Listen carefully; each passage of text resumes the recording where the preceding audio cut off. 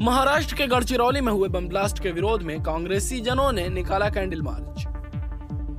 कांग्रेस के वाराणसी लोकसभा प्रत्याशी अजय राय ने दिया शहीदों को श्रद्धांजलि।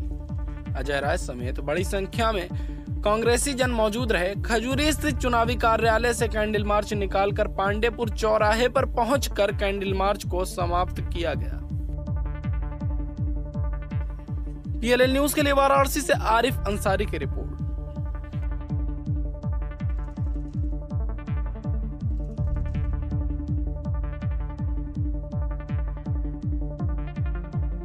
हुआ है, जिसमें हमारे देश के जवान शहीद हुए हैं।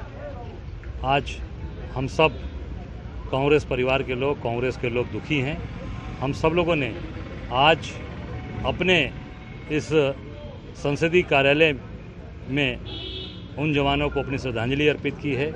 उनके परिवार के प्रति अपनी संवेदना व्यक्त की है कि भगवान उनकी आत्मा को शांति प्रदान करें और उनके परिवार को बल मिले, संबल मिले, इसलिए आज कांग्रेस पार्टी ने यहाँ पर अपना उनको श्रद्धांजलि अर्पित की है, उनके परिवार को संबल देने की